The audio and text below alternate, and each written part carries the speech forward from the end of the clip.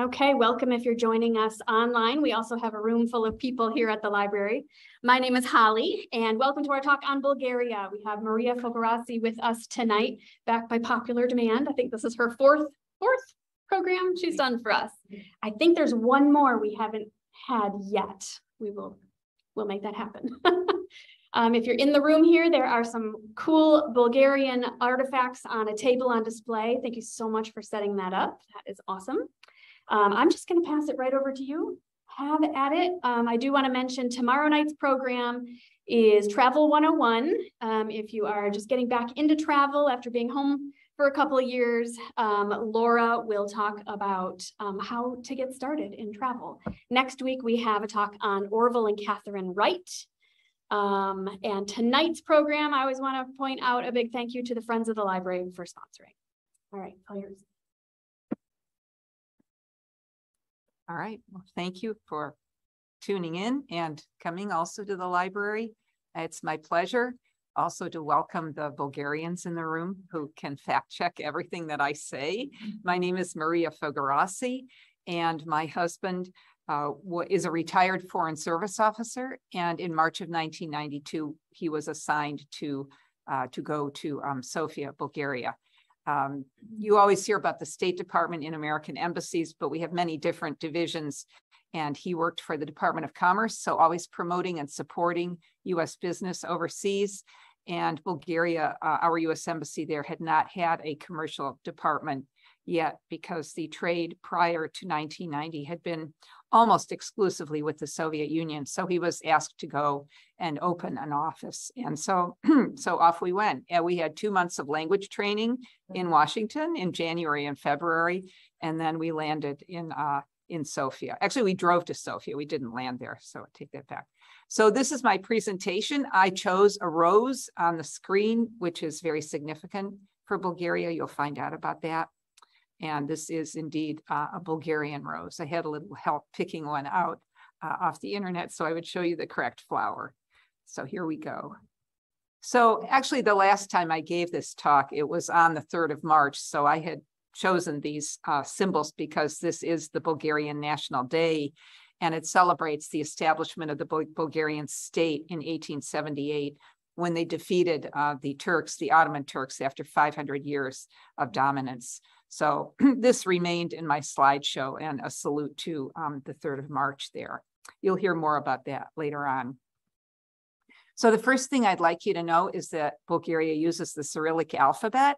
This would be if you were approaching Sofia, the capital, and you would see the sign in, in our alphabet and also in the Cyrillic alphabet, which was developed by two brothers, uh, Cyril and Methodius, who were born into a wealthy family in Thessalonica in the ninth century, but they chose to give away their worldly wealth. So actually, I show two pictures here, but the one where they're dressed more humbly is probably how we should uh, remember them. They are venerated not only in Bulgaria, but in other countries. They took the Greek alphabet and developed the Cyrillic alphabet in order to translate the Bible and spread Christianity. They are sometimes called the apostles of the Slavs. They're the patron saints of Bulgaria. Their feast day is May the 24th, which is sometimes I've heard known as Cyril and Methodius Day or Slavonic Script Day or Education and Culture Day, various different um, interpretations.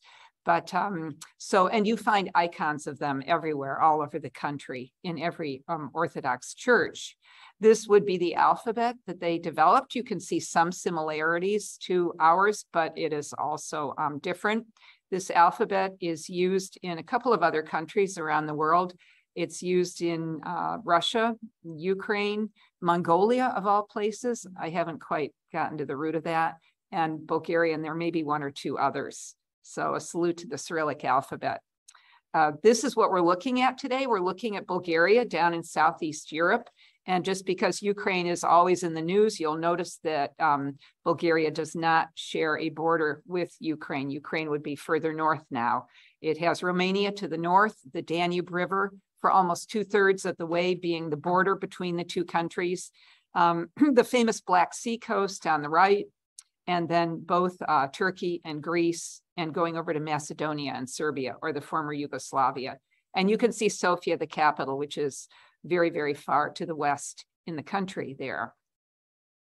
This is what we call the Balkans. If we talk about the Balkan countries, this section of land, uh, the former Yugoslavia, and then down, not necessarily Turkey, but the um, part of Turkey that's still Europe. So when we talk about the Balkans, we're talking about these countries, and one of them is uh, is Bulgaria there. So my title, Balkan Wanderings, uh, that's where that uh, that's where that comes from. And this is just to go back to Cyril and Methodius just a moment and show how far they were able to go in their teachings and preachings, because you have to think the ninth century, they did not have anywhere near the transportation that we did. So they accomplished quite a bit and they really got around. And you can see how far north, even to the countries that don't use the Cyrillic alphabet, um, they were able to travel through and spread the word of the, of the Bible.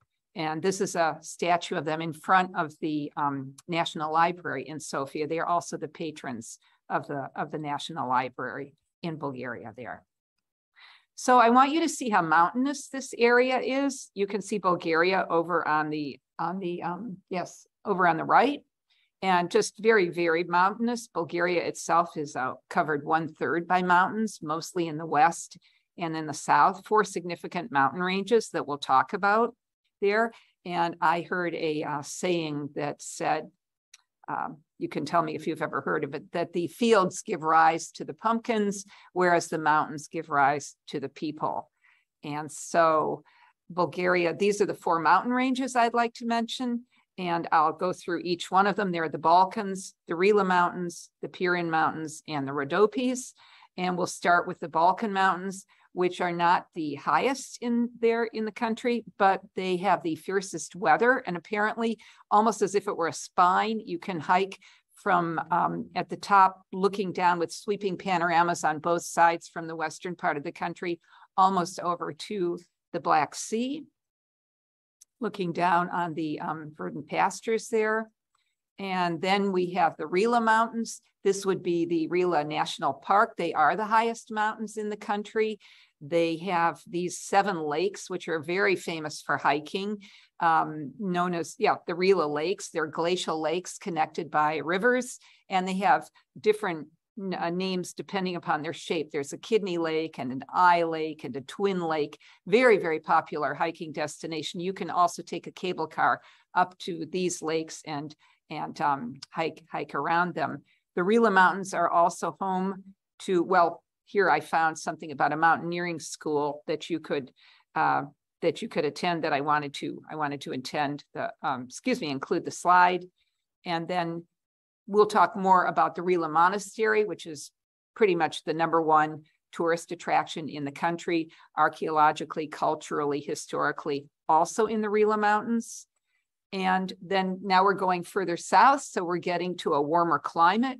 We're getting to the Pirin Mountains. Oh, also, I just gave an example here in the Rila Mountains that I know I heard you um, saying, or one of our guests saying at the beginning, that you can literally sign up for one of these um, eight day packages where everything will be done for you. And, you know, literally arriving in Bulgaria and it goes down until you see number eight tour of Sofia. So um, it's it's all inclusive. Um, it's very very economical for our um, for our price standards, and it's a lot of beauty along the way. So this would be an example of an itinerary you might choose to follow. And you might stay in a guest house pictured here, or you might be further up, more where there's uh, more snow and ice towards the top, or you might be at the base of one of the ski resorts. That's a pretty big hotel down there. I know at least two very famous ski resorts. Skiing is uh, very popular in the country. And um, this is this is the um, oh you know my top I think I'm showing the highest peak there and I can't remember the name so just forgive me on that but um, so these would be the Pirin Mountains. You're moving moving further south. They're more um, more uh, of a slate gray and sharper peaks.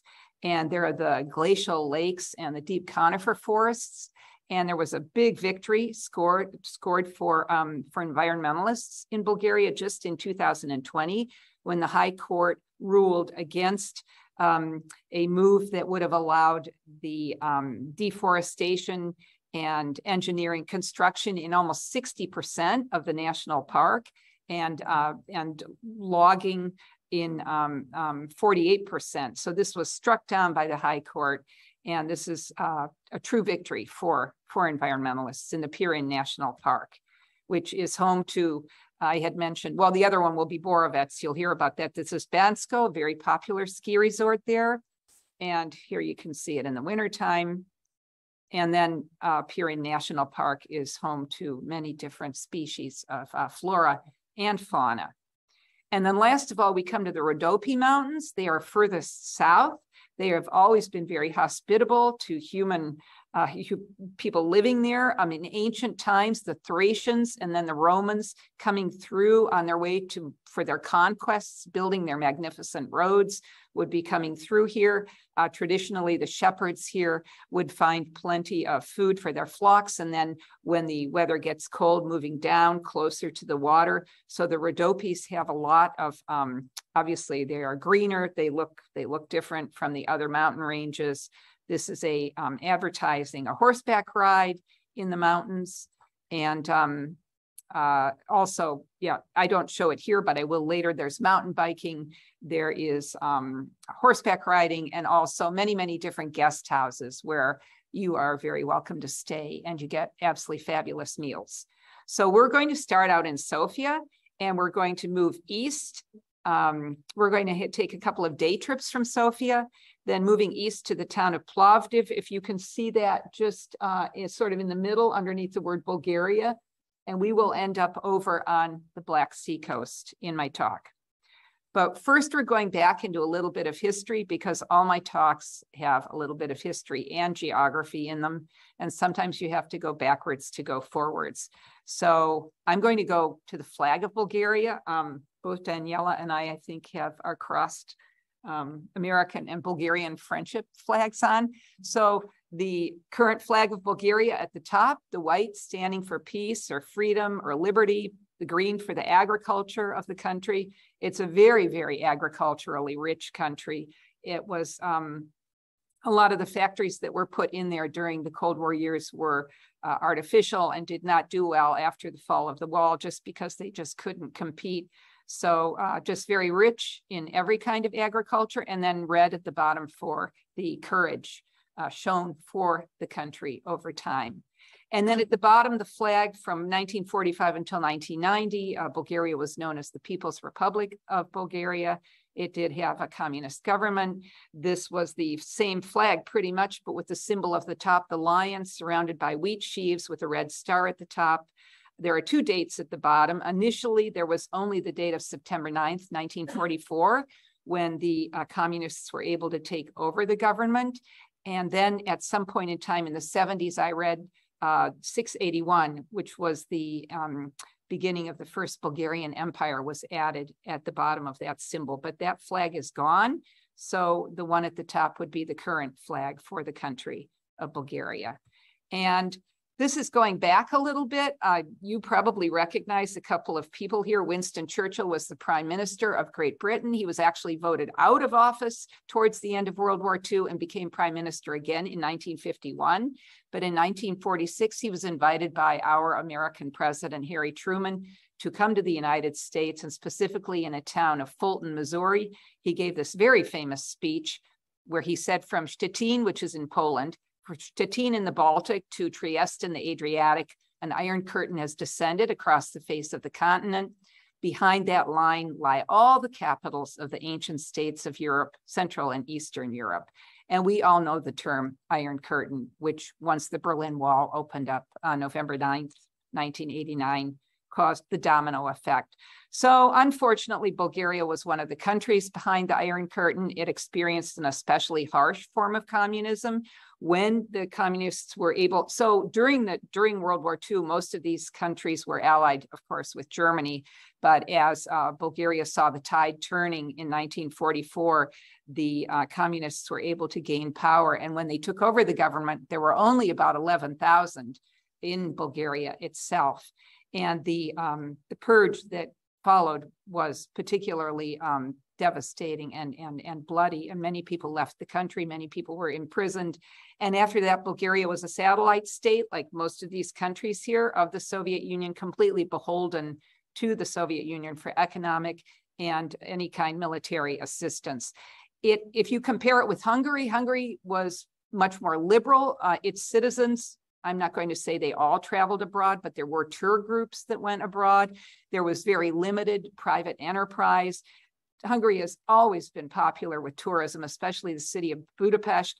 If a West German could not get a visa to visit his or her relative in East Germany, they would meet at Balaton Lake in Western Hungary. But Bulgaria was a much more harsher form of, of communism. And um, I don't think any of that would have been possible there. So, um, oh, and one other thing, actually, as far as these countries being allied with Germany during World War II, Bulgaria was very proud of the fact that it never delivered its Jewish population to the Germans. There were people in the government. Uh, the czar at that time was a man named Boris III, and they stood their ground. Unfortunately, Boris III traveled to a meeting with Adolf Hitler in 1943 and, quote, developed a mysterious illness when he came back and passed away shortly thereafter, which was tragic. But uh, Bulgaria always stood its ground on that point and never delivered the Jewish population. And so um, this is the strong man of Bulgaria at the top. In the bottom, you see him with Mikhail Gorbachev, which is kind of ironic because Gorbachev, I think we can credit with never doing anything. When the Berlin Wall opened, he could have lifted a finger and sent in the troops like he did in uh, Budapest in 1956 or Prague in 1968. But I think at that point, he just saw that the writing was on the wall and let it go. But the Bulgarian uh, man you see here, Todor Zhivkov, was in power from 1954 until 1989. He was the longest serving of any of the communist dictators anywhere in Eastern Europe. And um, his history. So, and then the next slide is just really going back in history. This is what we only see now in North Korea. We would have seen this in the Soviet Union. We would have seen a day glorifying the communist state we would have seen at the top uh, right there the um, proletari uh, up in Cyrillic at the top with Marx and Engels. And this is all in the past. Downtown Sofia looks completely different now. But um, again, you know, you, we do see this on TV with North Korea, and we can kind of relate to uh, to the kind of parades that uh, that went on.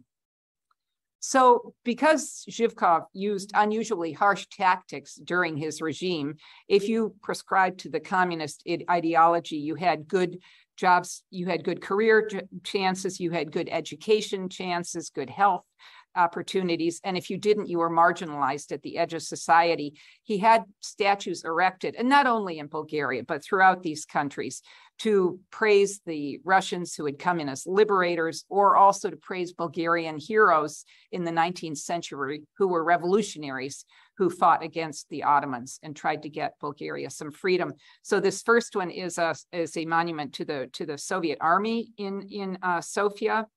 Um, this one is very interesting. It's called the Mound of Brotherhood. You never would have seen graffiti on any of these statues during the Cold War years, but today the entire world is covered with graffiti.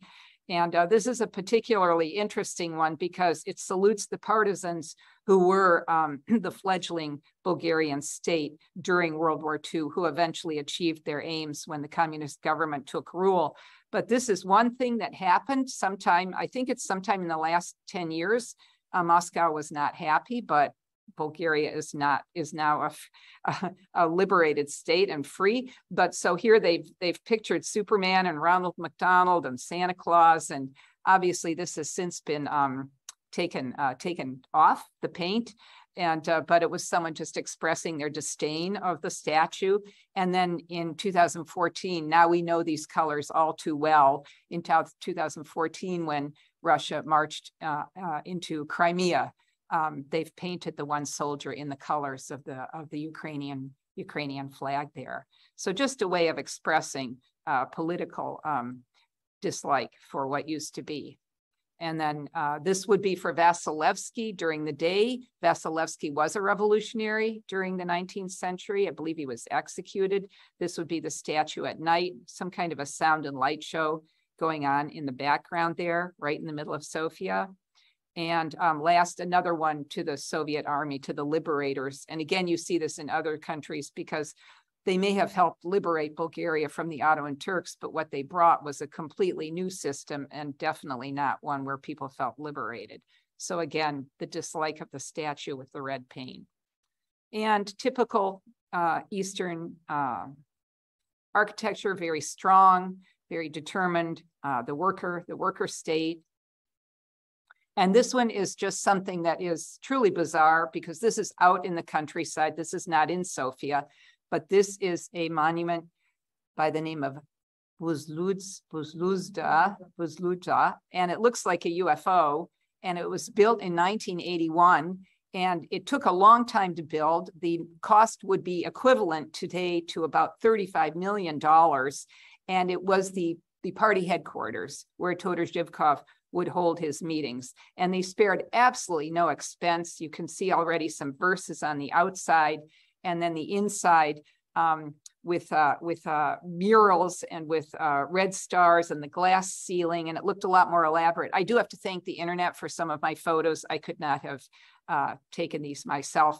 So it was just uh, an incredible white elephant, which lasted up until about 1989 90 when communist was no more in the country. I did read that Zhivkov had some kind of a time capsule put in one of the walls. I don't know if that's true, but this next picture here, um, these, um, it's covered up at the top there, but there is a tour that you can take of communist landmarks, which is pretty popular for foreigners because these are all empty. I don't think you can, I'm not sure you can climb uh, on this monument as is depicted there with the one individual, but they are silent testimonies and tributes to the past. And so this UFO like uh, statue is uh, included on one of those tours that I read about there. So, okay, so Bulgaria does not use the euro, it uses the lev here, obviously with the Cyrillic alphabet. And if you see down next to the 20, 20, and then leva in the Cyrillic, the four letters. So sometimes in the US, you'll be doing a crossword puzzle and it will say, what is a currency with four letters? And the answer is usual, usually L-E-V-A. So I gave that away. Um, Bulgaria is a member of NATO. Um, uh, but it's not the um, it's and of the EU, I should say, but not of the Schengen Treaty, meaning again that it doesn't use use the euro. And we're going now to the very heart of Sofia. We're going to the number one landmark in Sofia, which is the absolutely gorgeous um, Alexander Nevsky Cathedral, which was built to honor approximately 200,000 Bulgarian, Russian, Ukrainian, and Belarusian uh, soldiers who fought 1878, 1888 in the war against the Ottoman Turks to get them out of the country after 500 years. Um, they did succeed and Bulgaria became an autonomous state within the Ottoman Empire and then gained its complete freedom in 1908. But it was already autonomous after this war was fought. And so this cathedral was actually started at that time, but most of it was built after 1902. Um, the cathedral is Eastern Orthodox. Bulgaria is um, a country that practices Eastern Orthodox religion. I read that approximately 60% of the people would call themselves Eastern Orthodox. I don't know whether they are all church going. It's a very, um, it's a country with open religious tolerance. And so pretty much any religion can be practiced there. There are tiny percentages of, um, of Muslim, very tiny percentage of Jewish and uh, perhaps something else, but it's basically um, Orthodox. Alexander Nevsky, the name of the cathedral, he was a Russian prince way back when, famous for his military victories. And so he has been canonized by the, by the Russian church. So just for one second here, why is it Eastern Orthodox? Um, let's go back to 800 and something AD, where Pope Leo III, up if you see uh, Aachen, if you see Holy Roman Empire, and then you see in Germany, Cologne and Aachen. Aachen is by the Belgian border. And that is where um, Karl the Great or Charlemagne was living. And Leo III crowned him uh, the Holy Roman Emperor. Emperor. Well, the Eastern Orthodox Church over in Constantinople, which is today Istanbul, they weren't really pleased with that because they felt that they had upheld the church, especially since the fall of Rome in 460 AD. So they didn't agree with that move. And the two sides started to move away from each other. And then, you know, the Pope in Rome didn't speak Greek. The, the leader in Constantinople didn't speak, uh, obviously, um, Italian. And uh, so it came down to what's known as the Great Schism of 1054. And that's how we have these two branches of Christianity. Um, also, one side used leavened bread in the in the ritual in the ceremony, and the other side unleavened. And there were some other differences, but that's it in a nutshell. Why you have this um, Eastern Orthodox uh, branch of the of the um, of Christianity there. And then this is just uh, showing showing the split. This is the Pope Peter, the first Pope uh, on my left here. And then uh, I don't know the uh, name of who would be heading the um, Orthodox Church, but he would be he would be on the right. So Alexander Nevsky is absolutely gorgeous. Um, it can hold up to 500 individuals.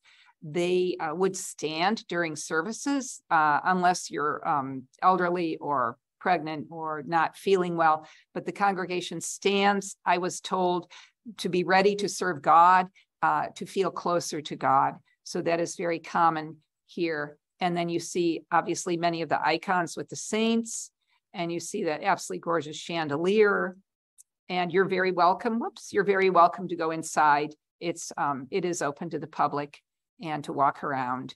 And then this would be looking over at Alexander Nevsky um, at nighttime. So it's just absolutely beautiful, and it's pretty much the like the navel, the center of the capital of, of Sofia. So over here, you saw in the background, we're heading toward the mountains. And so this is Mount Vitosha. This is, Sofia is literally at the foot of Mount Vitosha. It's a mountain massif. It's approximately 17 by 19 uh, kilometers, so almost square. And it's your getaway for fresh air and for hiking and for skiing and snowboarding and anything else you care to do. It's readily accessible uh, by bus and other public transportation. Uh, it has four peaks, and it, it they, these four peaks come together at one peak um, known as um, Cherni Vrah, which is the Black Peak, which I don't think we can see there, but there is peak up there. And uh, there's a weather station up there, appropriately enough. So um, anyway, it's just great to get out of the city and go and uh, um, up there and uh, everybody everybody does that and then when you come down well now we didn't have any of these when we lived there we were there from 92 to 94 uh, but you can great get these great books uh, and find out about the hiking trails and just about everything else about Vitosha. And then when you come down, there's a boulevard now. It's very attractive. It's very typically European, um, you know, with the outdoor cafes and the flowers and uh, very, very lively. There's at night over on the right, there's a street artist and he's put out his hat to collect some coins. So very, very busy uh, thoroughfare here and pedestrian also. This would be the poet Slaveykov with his son. He was a publicist. He further developed the language. So this statue of the two of them sitting um, somewhere on Vitosha Boulevard is a, is a tribute to the two men. And now we're coming to this absolutely beautiful hotel. So when we were there, it was the Sheraton Sofia. So I have to admit, it's not the Sheraton anymore. So this is slightly incorrect. It's just the Hotel Balkan, but it was built in 1956 and it's very typical um, sort of a, a classical socialism type of architecture and they blended it with uh, ultimate luxury. Most Bulgarians never never would have gone inside this hotel during the Cold War years, and um, but obviously that changed in 1990. Uh, the foreigners and the diplomatic community held many many events inside there, and um, this would be the hallway and um, just uh, just very very beautiful interior open of course now to anybody who wants to be there. This would be the uh, hotel from the outside still with the sheraton s at the top. And then okay there were already some roman ruins there but this happened after we left so i need to go back and see this because in 2015 so sofia in the roman empire was serdica ancient serdica was the name of the city and it was suspected there might be a forum underneath the ground in this plaza in front around the hotel. So they started digging And they were absolutely amazed because they didn't find the forum, but they found this massive, massive building, which is suspected. Well, first of all, the walls of it are two to three meters thick. So it is suspected that it was two to three um, uh, levels, floors. Um, it was destroyed in the fifth or sixth century, probably by an earthquake. We're not quite sure when it was built. So the strong suspicion is that it was either um, ancient baths for the Romans or the legendary palace of Constantine the Great, who ruled from 306 to 337 AD and was rumored to um, be very fond of visiting uh, Serdica. And so this is absolutely fascinating. They've also found evidence of underfloor heating for which the Romans were very famous. And then, you know, usual, maybe some pottery or some coins. And this is all right in the middle of the capital city. And it's just a real archaeological treasure. I mean, that's an understatement to call it that. Um, and so here you see um, some ongoing work. And um, this is also, this one's from the, from the internet. This is right also there, but this is a hotel. The name is Arena de Serdica. And this hotel has built into it, they found an amphitheater, one of the largest in the Roman Empire, they suspect, where you would have had this fierce fighting of gladiators and wild beasts. And they've incorporated it into the hotel very nicely so that even if you're not staying there, apparently these glass windows, you can look down so Sofia is finding a great way to um, to highlight these uh, ruins. And again, I'm sure that site I showed you at the beginning doesn't look like that anymore because this is seven years later. So it's time to go back and take a look. And uh, by the way, this is a great time to travel to Europe because your dollar is incredibly strong if you follow currency exchange rates. And uh, so this would be that particular uh, that particular site there. And then this area around the, um, the Hotel Balkan, again, noting the, is known as the Square of Religious Tolerance. This would be the um, another Byzantine church, St. Nedelya from the 10th century. Uh, and there it is uh, from the side view there. Um, this is probably the oldest building in Sofia. This is St. George from the fourth century. And St. George has had a very lively history probably used at the beginning for ceremonies, maybe when uh, the emperor came to town. Uh, then when Christianity was mandatory across the Roman Empire, it would have been used for baptisms. When the Ottoman Turks came in, oh, that's okay. Okay, so when the Ottomans came in, then the inside walls would have been whitewashed, as was the practice for uh, for mosques, and it became a mosque. I read that later on it was a mausoleum, and now it's back to being a very small Orthodox church, and there are also concerts uh, given there. So this is a tribute to um, Saint George there, this fourth century. And again, you've got um, just a, just for archaeologists, just a dream uh, right in front of, and it has the Hotel Balkan on all three sides. You can you can see the uh, the walls there. This would be the the uh, synagogue, one of um, uh, one of maybe two in the country. It's a beautiful Moorish revival style. It could hold up to 1,300 people, but most of the Jewish population in Bulgaria emigrated either to the then Palestine or the current Israel. So there might be 50 or 60 people at a worship ceremony. There is a small museum in it, and there is this uh, massive chandelier weighing 1.7 tons, which is rumored to have come from ancient Palestine. So that's a pretty, that's a pretty hefty chandelier there. And then also in the vicinity, you have a small mosque, Banya Bashi, meaning many baths. There are thermal sites, and this bath, this mosque is built uh, either on top or maybe right next to the um, one thermal site, and you can see the, the steam coming up through the through the ground there. This is the Archaeological Museum. It goes without saying that you're going to see quite a bit in here.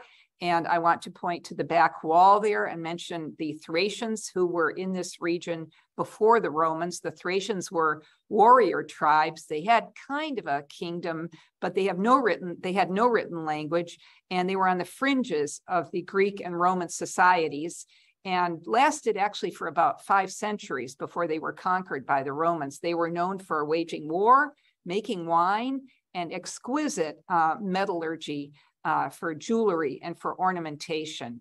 and so this museum contains quite a bit of what has been found. And this next one is absolutely stunning.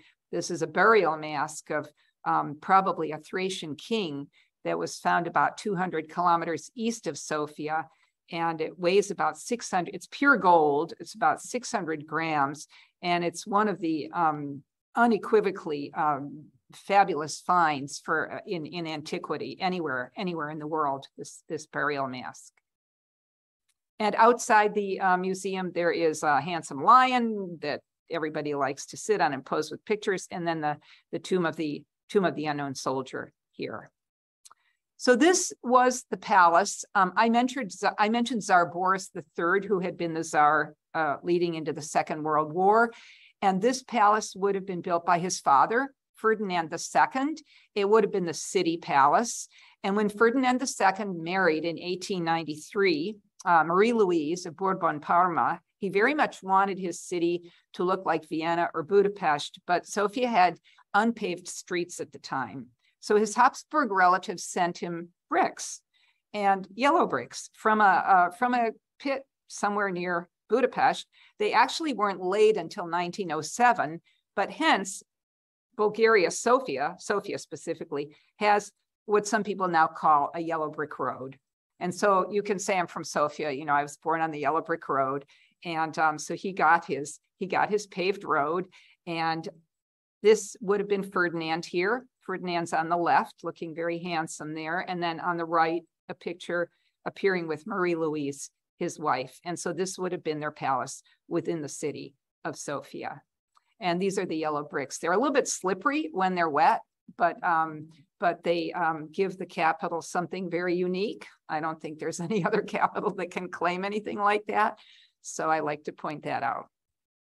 The palace is actually a modern art museum now, where I love the way the paintings have been displayed here and very decorative. So you can go in there and browse um, the art, or it's also uh, an ethnographic museum where you can see the different costumes that would be native to different parts of the of the country and the different cultural um, customs in this museum here. Um, this next one goes back again to the past, but I pointed out because um, so when uh, the communists took power, there was a leader named Georgy, Dimitrov, and when he died, he died very suddenly, and the people were very um, like, what should we do? What should we do? And they decided to follow the pattern of Lenin, who is has is entombed in uh, Moscow. You can go see Lenin's tomb. And they built this mausoleum in six days and made it like a so much like a fortress that it was I read almost could have withstood a nuclear war. And into this went the embalmed body of Georgy Dimitrov. And um, I it was obli- uh, for instance, when I gave that talk at Westland, one of the ladies said it was obligatory for all the school children to go in there. It was very dark, it was very spooky, and it's very costly to maintain this kind of setup here. So after the 90s, there was a lot of debate about what would happen or what should happen to this to this building, and the government decided to take it down. But the, when they went to try to detonate it, it was so well built that it took four tries and so the joke was six days to build, six days to take down. So it doesn't exist anymore. At one point, I had read there's a um, uh, there are a maze of tunnels underground that there might be some kind of museum in there, but I can't find anything about it online. So I don't know if it's true or not. But it doesn't it doesn't exist anymore. But the it's just a great story for the past. And, and this would be the um, the National Assembly downtown. You can see clearly the the yellow, the yellow bricks in this picture. And this would be the liberating Russian Tsar Nicholas, uh, the um, the great liberator, um, the Tsar Osvoboditel, on his horse. He would have been leading the charge in 1878, 1879, 18, I'm good, 1878. Yeah, anyway, against the Ottomans that we've mentioned a couple of times now. So here he has his back to us and he's facing the National Assembly. And you can see that gorgeous um, Alexander Nevsky Cathedral in the background there. Um, this is a marketplace. This market, this whole building was not open when I lived there, but it's since been renovated and it's a covered market. So you can go inside and browse and find probably, you know, whatever you want to find, fresh fruits, vegetables, things like that. And this is a very pretty little Russian church. The Russians uh, took down a mosque when they came and um, erected this church, St. Nicholas, which is a very popular photo motif in the capital city. And this would be the National Theater, Ivan Vazov.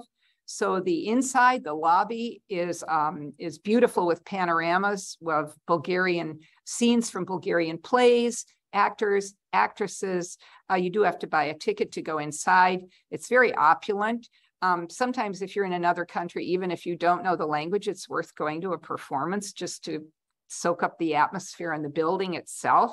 So this would be the National Theater, and this would be looking at the National Theater with the water nymph, the statue of the water nymph uh, in front of it right there. And then a completely different season. I just love this picture because this is a kiosk in the snow in that same area there where, you know, you could buy a little cup of very strong coffee or newspaper and you might not linger so much in the wintertime, but it's just, it's just such a pretty picture. So, but after the winter starts to leave and you come to the 1st of March, you come to a um, Bulgarian custom that is not known in any other country of the world. And this little combination of red and white tassels is known as the Martinitsa. And so on the 1st of March, you would say to someone, Chestita Baba Marta Day, Happy Baba Marta, Baba Marta meaning grandmother Marta, who represents the month of March. And if she is in a bad mood and grumpy, you have bad weather. So you hope that she's in a good mood and smiling. So you have good weather. And actually, Daniela has a book about Baba Marta over there and the Bulgarian um, school in our greater Detroit area, the school children, they honor this day. And everybody makes um, martinitsas. And then you're supposed to go give a martinitsa to someone and they tie it around their wrist. And I think when you see the first tree, fruit tree blooming, you can tie here, you see the buds of the fruit tree, or maybe out in the country, if you see the first stork, you can tie it onto a tree here would be um, exactly that, probably a school class. And they can be made out of cotton or wool or silk, and they can take different shapes or forms. At the top, you see the little dolls. Is it, maybe you can see it um, here, the teacher is, and everybody's wearing red and white the white for the driven snow and the red for the sun, which hopefully is going to get stronger and bring more warmth every day as the month of March progresses. And those little dolls at the top, ah, here here, this is so pretty because they've been tied to the tree and they've all tangled up in the wind there, the Martinitsas. But um, these little dolls I wanted to show you, Pizho and Penda, little boy and girl. These are so pretty. Someone's someone's made them and then crocheted. So they are also a popular motif on March the 1st. So again, everybody gives everybody a Martinitsa. And um, and Bulgaria is the only country that has this custom. And here the family cat somebody made a Martinitsa for the family cat. I think that's such a beautiful cat in that picture. So we want to honor the, the 1st of March. Um, okay, back to Alexander Nevsky, some of the popular souvenirs, and um, we'll get to the ones that Daniela has over there. Icons, obviously, with Bulgarian saints. These are from Russia, the nesting dolls, but they're very popular and then uh, obviously more with foreigners, but the old communist uh, medals that have been gathered together are always uh, on for sale where you see the tourists. Um, this is the Museum of Natural History, and you're probably thinking, why is she even showing us this?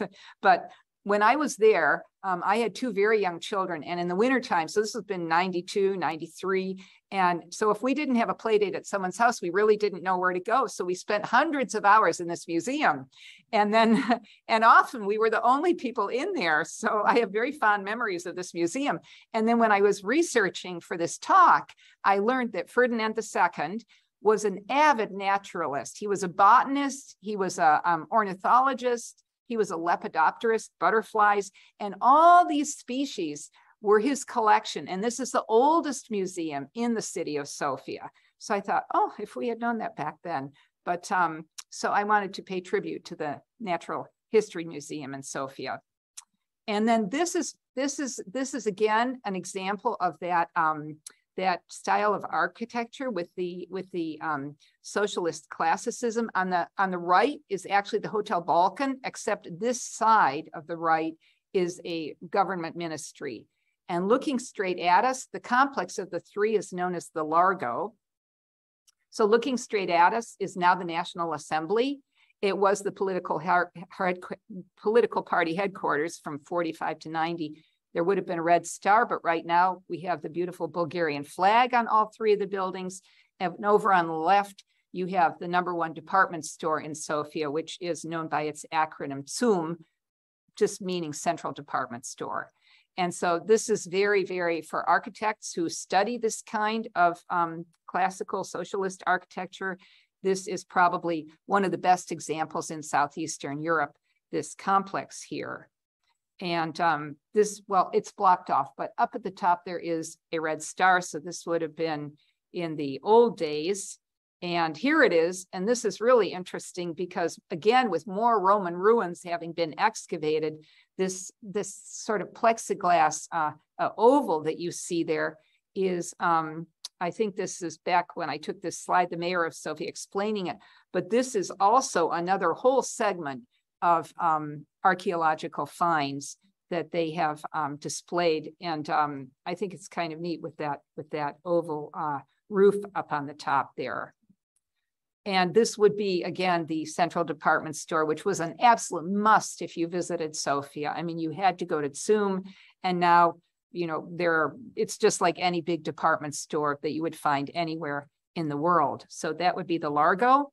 Again, one more great photo shot of the Largo in modern times now with what they've done down the middle, looking very pretty. And the, this would have been before that existed. Again, you can see those, um, those yellow bricks on the road there.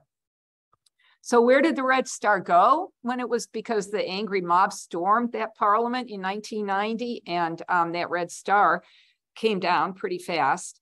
But Bulgaria decided that they should keep these monuments all these monuments from all over the country, but nobody really wanted to look at them. But they created a museum of socialist art. There was some debate, museum of to totalitarian art, socialist art, but they decided on socialist. So this is very, very interesting. It's quite large. It's indoor and outdoor. Uh, Budapest has something similar. They have Statue Park. So they did not destroy these because actually they are part of the history. Over here on the right, you can see um, uh, Mr. Lenin there holding his uh, holding his uh, coat lapel. And uh, um, I didn't ever find the name, but I like the statue, so it must have something to do with art at that time. And then there's also an indoor area with videotapes and posters. And again, going back and preserving um, history. These two busts at, on the far end are uh, Marx and Engels, and then you have Lenin, and then you have um, all over the Eastern Bloc the hated and despised dictator uh, uh Joseph Stalin here on my on my right there. Uh, so this is NDK. This is known as the Palace of Culture. It's not really a palace at all. It's the largest of its kind in Southeastern Europe. It's for conferences, it's for trade shows, it's for symposiums, it's for many, many different uses. It's a mass of glass and steel, 10,000 pounds of steel. That's 3,000 pounds more than the Eiffel Tower. And it was built in 1981 to commemorate the 1300th anniversary of the founding of the Bulgarian state. It was the brainchild of the daughter of Todor Zhivkov, Ludmila Zhivkova. Zhivkova. She had an unusually high position for a woman at that time in the communist government. Country, those countries, it was not usual to have a woman with uh, influence in the government, but she was in charge of all of the um, education and the cultural affairs for the country. She died at the age of 39 of a, of a brain tumor but this was her brainchild and this is what it looks like now. Uh, my husband was very fortunate. His office was not within the US Embassy, it was in NDK, meaning a lot less bureaucracy trying to reach them. Our American embassies are rather fortress-like. They need to be um, with for many different reasons. And that we're not the only country with a lot of security, but uh, um, so he had his office at the at the NDK here. And, um, and then one more before we leave Sofia, a monument to the bells, also a, um, um, we can attribute this to Ludmila Zhivkova. This was in 1979 when the United Nations declared the year to be the year of the child. So this was created with the tower with four uh, four sides for the four directions, and then seven bells at the top for the seven continents of the world. And then at the bottom, there are 93 different bells, either from countries or from organizations that honor or help children, each one with their name on it or perhaps a donor. So this is the Monument of the Bells. So we are leaving Sofia now. We are on the road and we are heading to the Rila Monastery, which is in, as I had said, the Rila Mountains. And it's also a day trip, by the way. It's not that far from Sofia, and it's a very popular day trip. And here you have the gorgeous Rila Monastery, which is um, the number one uh, as far as archaeology, not as far as history, cultural, and even um, architecture site in in the country. The Rila Monastery was built in the, um, it was started in the 10th century, but it did not look like this. It was much smaller. And at some point there was a fire. And then when it was rebuilt, many wealth, wealthy Bulgarians donated uh, money to um, fund this absolutely gorgeous building here. Um, it is at the monastery. So, and then of course you have the uh, the murals here. You can see on the walls there. I like the undulating um, curves of the building. And this is looking down on it in the setting in the Rila Mountains. Uh, Bulgaria has, I read they might have up to 600 monasteries, but many of them are much smaller. When we came in 1992, we had a brochure that highlighted the 12 most frequently visited. So these monasteries are extremely important in Bulgarian history. They were the depositories and where much of the literature and the paintings were developed. They were a safe haven during the 500 years of Ottoman rule. They were also a safe haven for revolutionaries who were, um, you know, who didn't want to be caught by the Ottomans. And some of them are, are up on, on almost unapproachable cliffs. Um, this one is this one is readily accessible. There are some monks who live here. I don't think it's a large contingent, but it is a working monastery, and again, a very popular day trip out of Sofia. And uh, just a couple of more um, couple more pictures with the mountains in the background, and then the gorgeous, just gorgeous inside there, and a great deal of Bulgaria's wealth, obviously, in some of these monasteries. You can you can see that right there and then the uh, the passage outside, and uh, the souvenir booth, and uh, so so the name comes from Ivan Rilsky, who was a hermit who lived in a cave. So obviously, it would have been his students who built the first uh, Rila monastery, uh, right um, where probably where he was. And um, this is a really pretty picture, also uh, the snow scene there. Um, I don't think Ivan Rilsky ever thought his name would be on a spa, but here it is, the spa hotel honoring him. And he is also, here's the one leva note. You can see the monastery on the one side of the bill, and you can see him on the other side. He is a saint of the Orthodox Church. And uh, here he is, um, even on the, the coin, the one lev uh, coin. Um, very close to the Rila Monastery is we saw Ban- Bansko, the one ski resort, and down here at the bottom you can read the word Borovets is the other probably f- famous um, ski resort in um, in uh, Bulgaria, also very very close to Sofia, and um, it's a big business in the wintertime. I read somewhere. Um, Borovets in Bulgaria for a cheap and cheery vacation. I like that slogan. And you can get a ski package there for you know a fraction of what we pay in the United States, and you can get some you can get some good skiing. So Borovets was also the site where um, uh, Ferdinand II built a palace, a getaway palace for himself, and this would be in the summertime with the hiking um, and the mountain biking. So his little palace, or I should say more of a hunting lodge, a Tsarska Bistritsa, is, um, is located there. And um, here you can see some of the, um, the game. I'm not sure whether this is open to the public right now. I have to be careful of what I say there, but this would have been, uh, so I said that was Ferdinand II who built this. This is his son, Boris III, with his wife and his two children, Simeon and Marie Louise. And this is where Marie Louise would have received this tragic news that her husband had taken ill after coming back from Berlin in 1943. The boy in the middle, Simeon, uh, so the family um, after the after the um, the war, uh, then Simeon became the czar, but he was so young he ruled with a regent, and I believe they went into exile uh, in Spain after um, after the war. There was no more royalty in any of the countries behind the Iron Curtain. That just didn't mesh well with the communist ideology, to say the least. Um, I want to go back to Sofia for just a minute. Um, when I showed you the little palace downtown that's now an art museum, I said that that was the city palace. This is the palace where the royal family spent most of their time.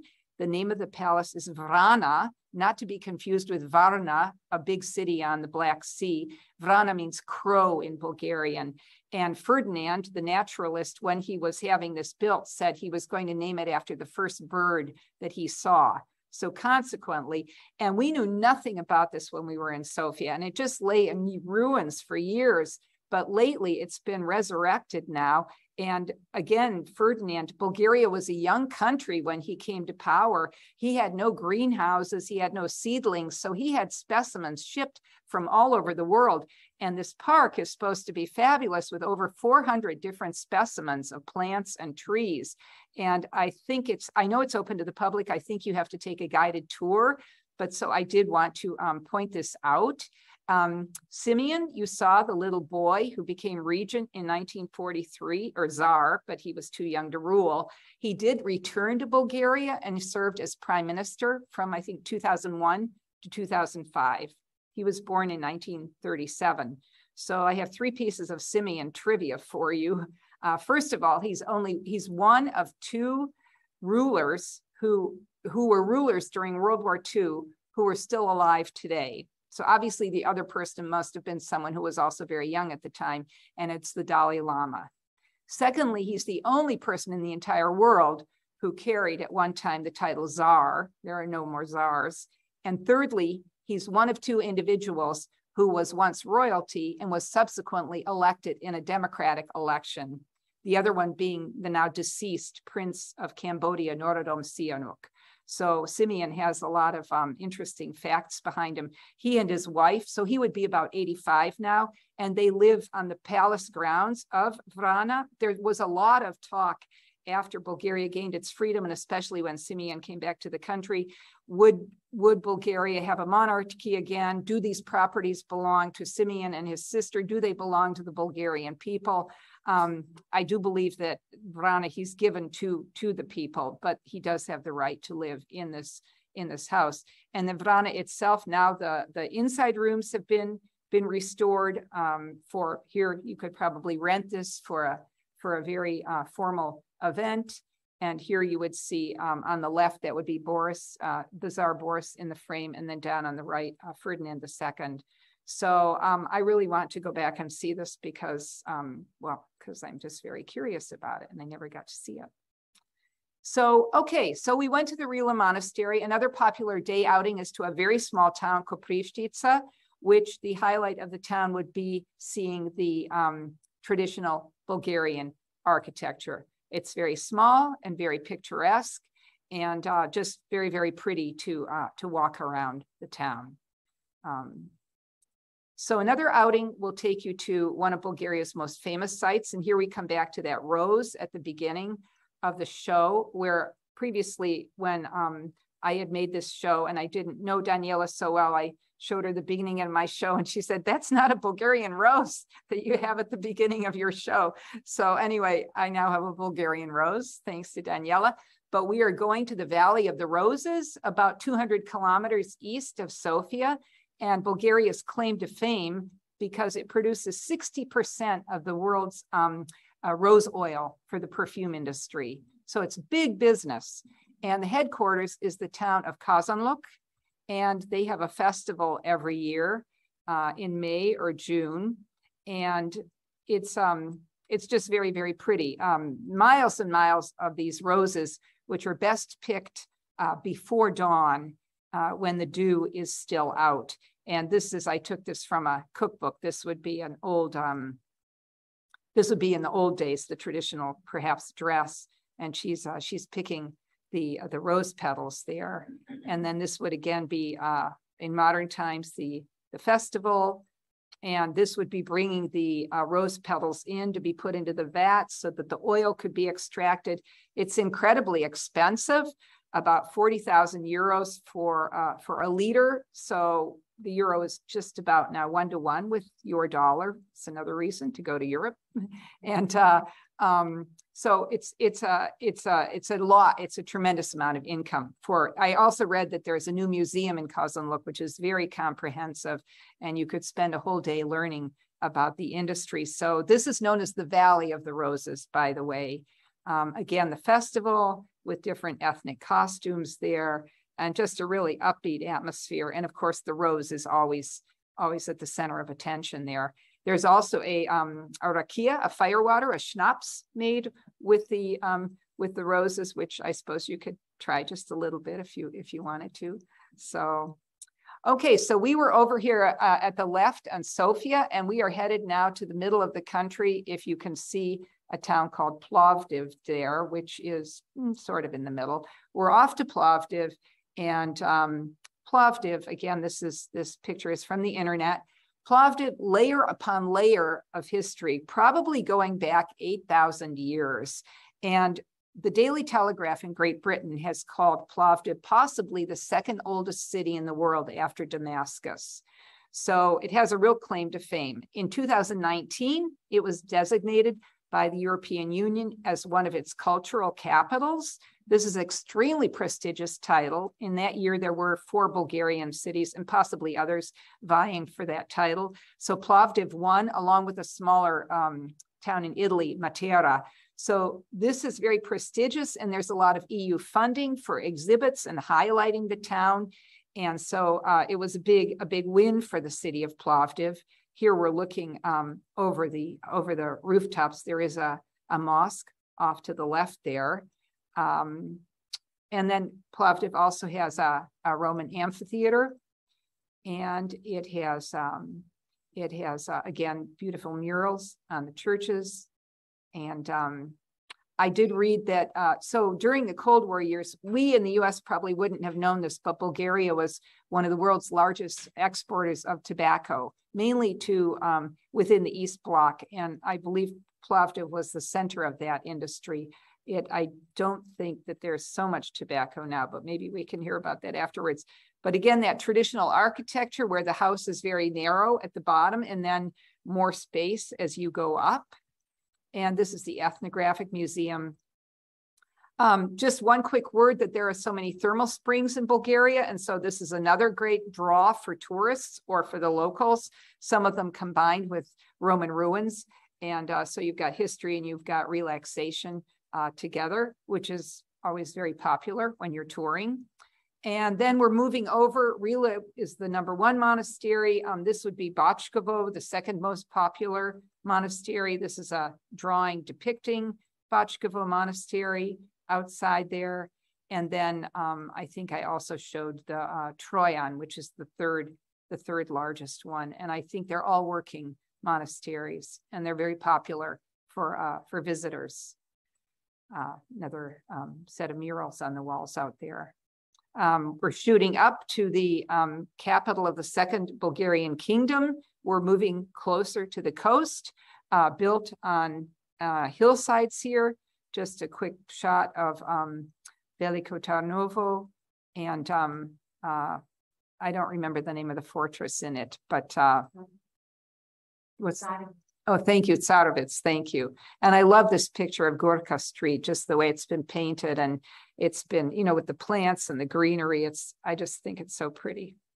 So we are coming to the seacoast now, the last part of um, my talk with Varna, the third largest city in the country. It's the maritime capital and pretty much the regional capital in that area for all kinds, all different kinds of administration. And uh, you can see that it is right on the water there. It um, also has some buildings that have been uh, renovated and look just absolutely gorgeous here Here's another one there with the colors. And uh, this is the Mother of Dormition Church, which would be the second largest in the country after Alexander Nevsky. Um, these are the very famous Golden Sands, which start about 17 kilometers north of Varna, this stretch of the Black Sea coast that has attracted visitors for years. And first of all, within uh, during that time when, uh, if during the Cold War, you could not travel outside the Soviet bloc, but you could travel to other countries. So it would be very popular to come to the Black Sea coast. And now visitors from all over Europe and the world come here. So they're known as the Golden Sands because it's very pretty, pretty beach area there by Varna. And then this is really fabulous. This is the Varna necropolis. So in 1972, a machinist was out approximately four kilometers from the center of the city, and he uh, discovered the first of 292 graves with this is the largest uh, and the biggest gold find in the history of our world. And this particular one probably was a ruler. It looks like um, there's a scepter in the hand and going back to 4000 BC. So probably the Thracians, again, well known for working with metal and working with jewelry. And I think this is the same um, individual, just shown a little bit more of the body, but incredible, um, 292 graves. These, uh, this, um, this exhibit, not, not all of it, but some of it, uh, and again, uh, small pieces of, of metal that uh, would have been used for different different purposes uh, twice in the United States, um, 1998 roughly, and then 2009, 2010. Um, we have had this exhibit um, I, at least once in New York City, and I'm not sure about the second time where they're showing about ancient gold. So again, this whole necropolis, um, it is pretty well agreed internationally that this is one of the most important finds worldwide in prehistory in the way that it's been preserved in Varna. This is just north of Varna. This is a very beautiful little town of Balcic there that was the favorite of Queen Marie of Romania because it went back and forth. The border changed a couple of times, but it has just very beautiful gardens that you can visit there. That would be Balcic. And then you would go down to Nesebur, which is almost like out on an island. It's a UNESCO heritage site and um, just, you know, just very pretty everywhere um, to wander and to look and to learn and uh, this is Nesebur also. And then the second largest city on the Black Sea coast, Burgas, again with the beach and um, with the very famous boulevard and um, illuminated at night in a very pretty way. So I go just for, oh, and then this, yeah, this was actually Daniela taught me about this. This is very popular at the seacoast. These are the Nestinari. They are historically with folklore, I believe, fire dancers, and they can dance on the embers. And they have incorporated this into um, for tourists. They can do the dance, and I think there's probably music with it. So, so the fire dancers there, which uh, um, is uh, is another draw actually for that area of the country. Um, and then just very briefly, the food, because you always have to talk about food and you have to talk about the delicious soups and stews. They're not they're not spicy, but they're just very succulent. And uh, um, also grilling is very popular for uh, in Bulgaria. Um, the shopska salad, I never knew it with olives, but I suppose with olives, it's the cucumber, the tomato, and the famous Bulgarian feta cheese. This one also has, has onion. Um, this is the banitsa. It's almost like a phyllo dough, again, with the, the cheese. You can drizzle honey on it if you want to, or eat it plain. This is a gevrek. I think this is uh, the Turkish influence. This is a yeast, kind of a large donut covered in sesame seeds. And then this is um, tarator, which is a cold cucumber soup, has um, some walnuts sprinkled on the top. And this is also Bulgaria's claim to fame. Bulgaria apparently eats more yogurt per capita than any other country in the world. And um, so kiselo mlako, sour milk, here it is with the traditional uh, dish there and a tribute to Stamen Grigorov. If you know, if you go to Google, you know, you'll see Google's always honoring a person or an occasion. And here they honored his birthday because he was the individual who looked through the microscope and he was able to identify the bacteria that um, that uh, make the milk uh, go uh, sour. And then he presented his findings at the prestigious Pasteur Institute. And um, so this is um, Dr. Grigorov um, so happy birthday to him back then. Um, and then, yeah, just another another supera stew. And you can buy the Ultimate Bulgarian Food Guide too, and uh, and go through the whole thing. And then the rose, uh, Daniela has a nice display over here. Um, this wouldn't be the um, the attar, the rose oil that is 40,000 euros a liter, but it's still a lovely souvenir. The little dolls come apart and there's a little vial of rose oil that you can take home or give to someone. Um, anything to do basically with roses. Here you've got uh, a rose uh, soap and uh, um, uh, always with that motif. And then you've got textiles. Those are the ethnic costumes. These would be um, carpets there. Again, smaller carpets if you just want something that is not too large. Um, pottery, ceram ceramics, and then going back to the Thracians and the tribute to their working with metals, and they're very decorative. These would be uh, belt buckles and and some other um, some other objects there. And then I think you have five or six Bulgarians. You may not know the names, but we have John Atanasoff, son of a Bulgarian immigrant who changed the world, the inventor of the modern computer. We have um, Valia Balkanska. She was a folk singer and her song accompanied Voyager 1 and 2 into space in 1977. Um, we have Christo, who, so after Germany, after Germany became one, the Reichstag, which is the current seat of the German government, wasn't in use yet. And Christo, who emigrated from Bulgaria, uh, and he was known for, I don't know if you ever remember Christo's display in Central Park. I think he had umbrellas or something. Anyway, was allowed to wrap the Reichstag. So this is for 10 days in 1995. Christo, the name very famous, although he never did return, I think I heard to um, to Bulgaria. Um, Nina Dobrev, an actress, I her family emigrated to um, to Toronto. She's of Bulgarian heritage and a mural artist by the name of um, Nasimo. Hopefully I pronounced that correctly. And then um, this gentleman whom you may have seen in the uh, in the Green Book when it was um, winning the Oscar. I think he was the cellist. He was one of the one of the musicians in the movie. So um, yeah, so Bulgaria and Balkan wanderings here, and uh, um, my title and my um, my website, and just a big thanks to everybody on screen and in person for coming and feel free to ask questions. Tell me if I there was something that uh, about Bulgaria that you maybe you you know differently, but um, thank you. Thank you. And thank you to Holly and the Plymouth Library too. Yeah.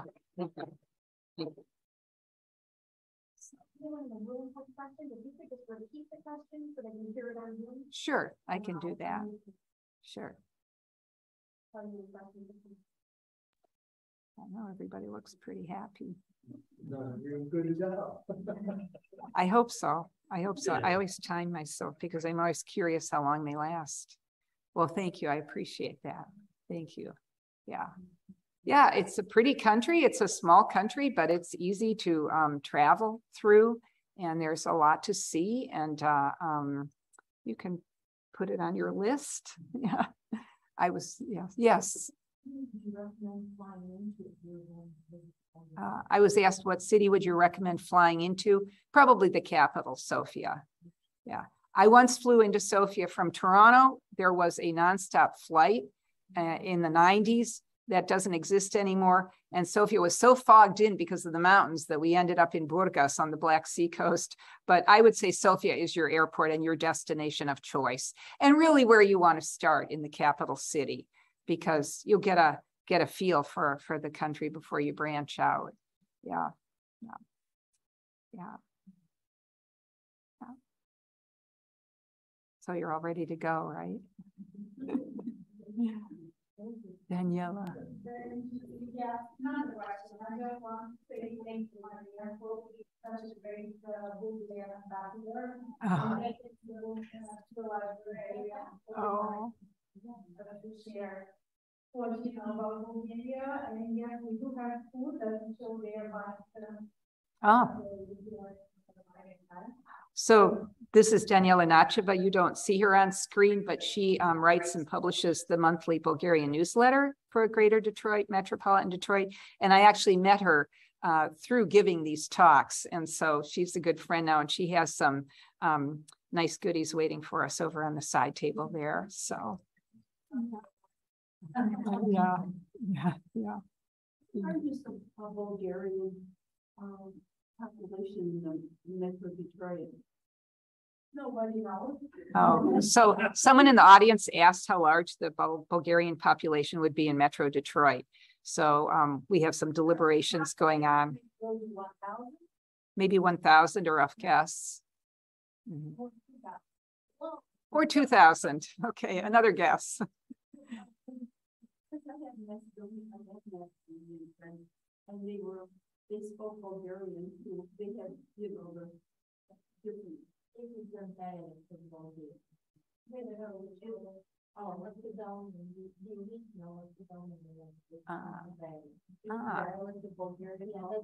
We're talking about the Macedonian language and the fact that it's a dialect of Bulgarian. So- I don't know if they, in their household, they spoke a mix of Bulgarian and Macedonian. And we're talking about a guest in the room here who um, has some friends uh, from Macedonia and who spoke a mix of Bulgarian and Macedonian at home. So she was asking that question. So, Oh. I just want to add one more thing. Today is October nineteen, and we celebrate, the Bulgarian church is celebrating uh, Saint Ivan Rilski, the one that. oh, really? Yeah. Oh. Your name is John, you have a name day. Ah. celebrate Our birthday and also. Oh, Daniela just told us that today, October nineteenth, is the name day of Saint Ivan Rilski, which translates to John in English because the name days are celebrated in Bulgaria. So if your name were John, you would be having a special day in Bulgaria today. I didn't know specifically today, October nineteenth. How about that? Oh, thank you. I learned something new. Okay. Yeah. Well, then we will I'm sorry online you won't be able to enjoy um the food with us, but I hope you still learned a lot and enjoyed the talk, so, yeah. Okay. Okay, thank you. Thank you so much. And thanks, Charlie. You can go ahead and stop the recording. And thanks, everybody, for coming on Zoom.